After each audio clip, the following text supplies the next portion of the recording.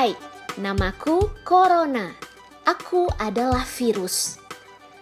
Ukuranku sangat kecil. Kamu tidak bisa melihatku. Aku dan teman-temanku suka sekali bermain di sini. Uhu! Yiha! Hore! Aku menyebabkan banyak manusia sakit.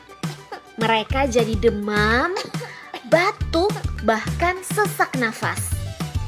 Manusia jadi takut padaku. Aku mengerti jika kamu juga takut. Tapi jangan khawatir, ada banyak manusia yang sembuh dariku. Kamu harus melakukan cara ini agar aku tidak bermain di tubuhmu. Pertama, cuci tanganmu dengan air dan sabun minimal 20 detik.